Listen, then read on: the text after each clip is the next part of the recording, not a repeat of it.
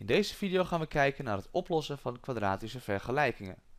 We onderscheiden daarbij drie gevallen. In deze eerste categorie zien we iets met x en iets met een los getal. De manier van oplossen is dan plaats alle x kwadraatjes aan de ene kant van het is-teken en alle losse getallen aan de andere kant. We gaan nu deze min 72 naar rechts verplaatsen. Dan krijgen we dus 2x kwadraat is gelijk aan 72. Links en rechts delen door 2 geeft x is 36. En tot slot nemen we de wortel en dan vinden we dat x gelijk is aan 6 of dat x gelijk is aan min 6. Bij deze tweede categorie vinden we wel weer iets met x maar nu ook iets met een x en juist geen los getal meer. Hier moeten we het op een andere manier oplossen. We gaan namelijk herleiden naar 0. Dus alles moet naar dezelfde kant van het is-teken. Ik ga deze 60x naar links verplaatsen. Dan vinden we 5x kwadraat min 60x is gelijk aan 0. Dit noemen we een tweeterm. Er staan twee termen aan dezelfde kant van het is-teken en aan de andere kant staat een 0. Dit gaan we ontbinden in factoren, bijvoorbeeld door 5x buiten haakjes te halen. En binnen de haakjes staat dan x min 12. Dit is een correcte ontbinding, want 5x keer x is 5x kwadraat en 5x keer min 12 is weer min 60x. En nu kunnen we stellen dat of de linkerkant gelijk aan 0 moet zijn of de rechterkant. En dan vinden we links x is 0 of we vinden x is 12. Let op dat je dus echt gaat herleiden naar 0 en vervolgens gaat ontbinden in factoren. En dat je dus niet al meteen gaat delen door een letter. Dat mag niet. Komen bij de laatste categorie en daar zien we dus alles tevoorschijn komen. Iets met x kwadraat, iets met een x en ook nog een los getal. Ook hier moeten we herleiden naar 0. Dus 2x kwadraat min 12x min 32 is 0. Dit heet een drieterm. Er staan drie termen aan dezelfde kant van het is-teken.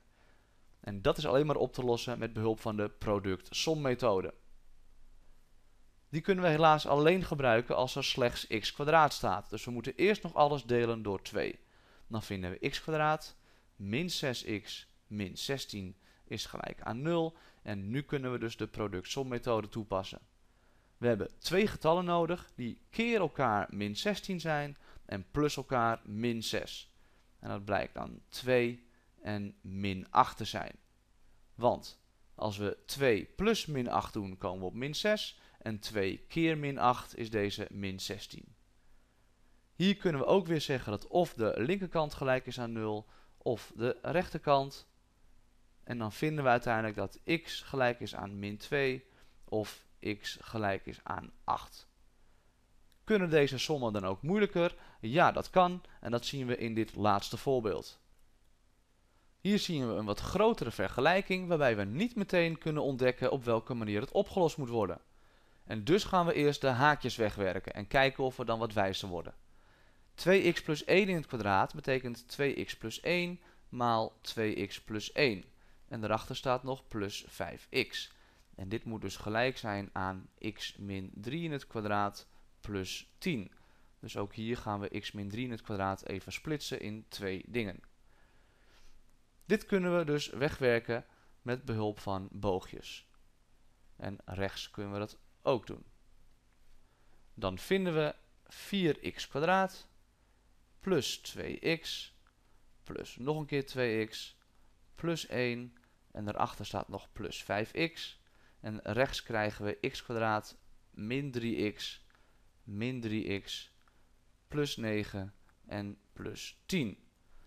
Dan gaan we eerst alles samen nemen wat kan. Links zien we bijvoorbeeld gewoon 4x kwadraat, maar 2x plus 2x plus 5x, dat kan ik bij elkaar nemen. Dat is plus 9x. En dan staat er nog plus 1. Rechts vinden we dan x kwadraat min 6x plus 19. En het lijkt er nu op alsof we te maken hebben met een drieterm. We zien x kwadraatjes, gewone x'jes en losse getallen. Dus we gaan herleiden naar 0. Ik ga alles naar links verplaatsen. Dan krijgen we 3x kwadraat plus 15x min 18 is 0. Product-som-methode, maar dan moeten we eerst alles delen door 3, want we mogen alleen met x kwadraat werken.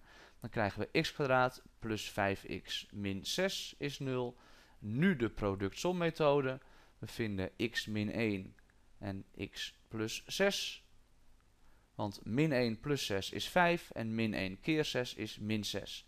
En uiteindelijk vinden we hier dat x gelijk moet zijn aan 1 of x gelijk moet zijn aan min 6. Tot zover deze video over kwadratische vergelijkingen. Ik hoop dat deze duidelijk was en ik wens je veel succes verder.